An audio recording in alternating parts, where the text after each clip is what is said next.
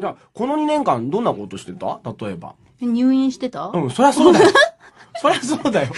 いや、あの、2年間の間、ブランクがあるじゃないですか。うんあるあるあるの、リスナーさんと。うんだから、どんなことやってたのかなっていうのもちょっとね、聞いてみたいなと思って。そうだよね。うん確かにブログもほとんど書かなかったし、うん、楽しみに待ってたのに。そうだろうね。うんでも、なんていうの？例えばこう、治療してて、これ今辛いよってとこって書くとみんな心配するじゃあ、ない。余計にね、うんうん確かにそうかもしれない。でもすっげえ調子がいい時に、うわーって書いて、うん調子悪い時だけ書かないってなると、またみんな書かない時は調子が悪いんじゃないかって心配するだろうと。そうだ、そういうことだね。思って、うんそうしたら、調子いい時も調子悪い時も何だか書けなくなって、なるほどひいてはみんなのためにね、うん。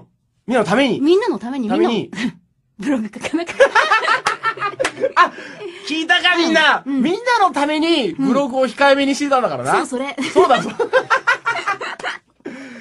でもね、あのーなんか僕らもメールとか送ったりもしてたんですけども、やっぱね、多分いろんな人から送られてきたとは思うんですけども、うん。だから逆に言うとなんか本当に大変だったら、メールの返事もあるかもしれないし、んうんないから大丈夫なんだろうなっていう風な解釈をするようにしてたんで、うんあとだから返信不要って送るじゃないですか。うんうん。タイトルに返信不要で、今こんな感じだよとか、そうそうそう。そんな感じで送ってたから。そう、、みんなね、うん。みんな気を使ってくれて、うん。返信不要ってのついてあるのね、最後に。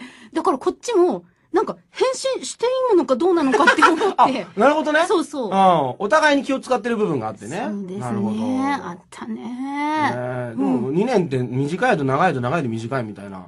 ちょうどだからじゃないですか、あの、人によって感覚の違うところなんじゃないですかね。そうかも。で最初の1年は結構やっぱしんどくて大変だったんだけど、うんうんうん。後の1年は、うん。わりかしこう楽で、おうそうなのどっちかっていうと暇を持て余してたんだよね。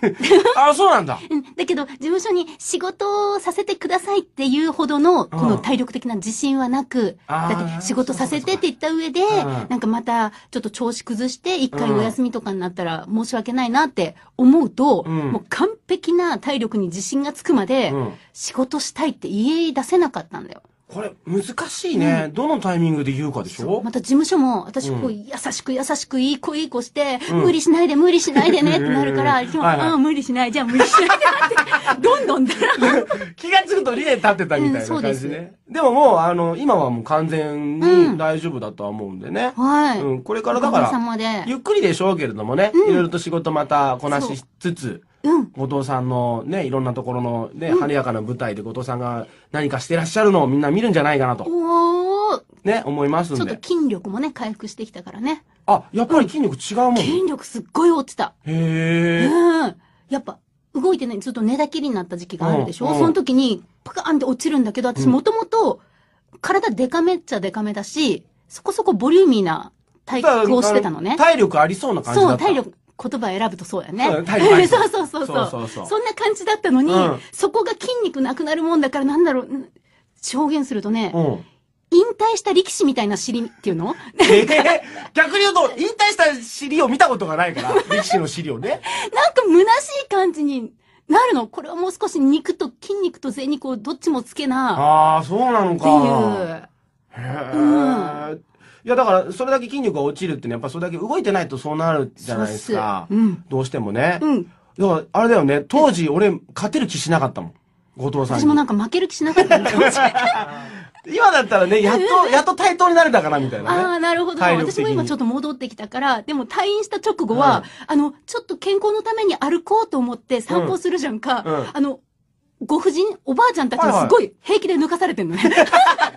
あ あ、ああって思いながら。お年を召した方よりもっていうねそう体力が今は。へえ。へえ。でも今さっさか歩くけどね。だだいぶ変わってきたな。回復しました自分でわかるよね、そうするとねあ。うん。だいぶ違うなっていう。うん。楽になったりするんでしょ？やっぱり、それだけで運動できるわけだから。そうだね代謝も良くなるし。へい。おー、そうか。食欲も出るしね。昔はね、ネブラの時にね、冗談半分でね、うんあの、構成作家がさ、書いてきた台本でさ、うんなぜかここでパンチを繰り出す後藤みたいな状態になってる時あったじゃないですか。あった。うん。その時にもらったパンチの重いこと重いこと。ねねあれなんでこんな重いの？女の子なのにっていうね。あ、終わっちゃったよ。そこで終わっちゃうのか でもね、あの、復活してからね、だいぶ体力戻ってきてるっていうのも分かったんで、聞いてるみんなもね、安心していただけたんじゃないかな。パンチと上段蹴りはちょっとできるようになった。だっておかしいだろそこが基準なのかって。あ、パンチと冗談切れてきたんで、じゃあ復帰しますみたいな。出たのそれってね。